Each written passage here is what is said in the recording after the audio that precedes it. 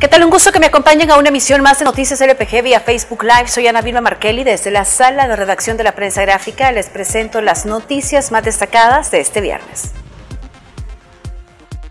El presidente de la República, Nayib Bukele, sufrió esta semana dos derrotas políticas luego que la Sala de lo Constitucional declarara constitucional el decreto ejecutivo 620 que contiene disposiciones que obligan al gobierno dotar de un seguro de vida y equipo de protección adecuado al personal médico que atiende la emergencia por COVID-19.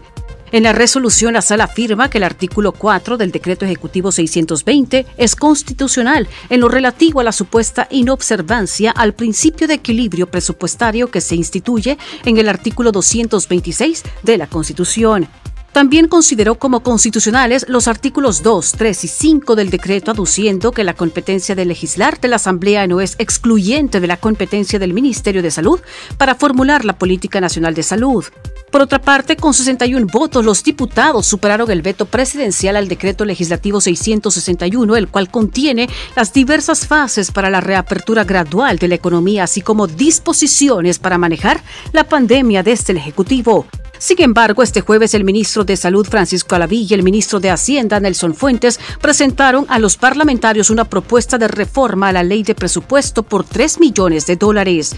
Según los funcionarios, la propuesta otorga dicho seguro médico, así como una pensión vitalicia a los trabajadores de la salud, algo que fue anunciado por Bukele en su cuenta de Twitter.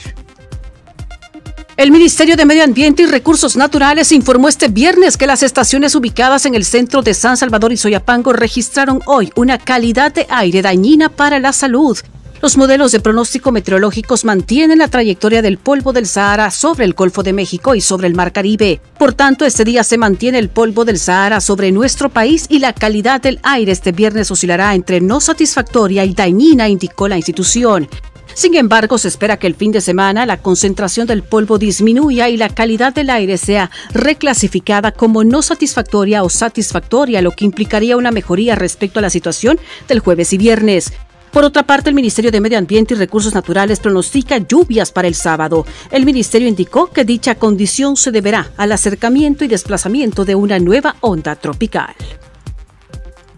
Guatemala registró hasta este jueves 22 fallecidos por COVID-19 y un alza de 800 nuevos contagios en tan solo 24 horas la cifra más alta desde que las autoridades de ese país detectaran el primer caso de coronavirus en su territorio. De acuerdo a las autoridades de ese país centroamericano, los 800 nuevos contagios fueron detectados tras realizar 1.628 pruebas. El Ministerio de Salud guatemalteco detalló en un comunicado de prensa que tras la actualización del jueves se ha registrado un total de 15.619 casos positivos y 623 fallecidos por COVID-19.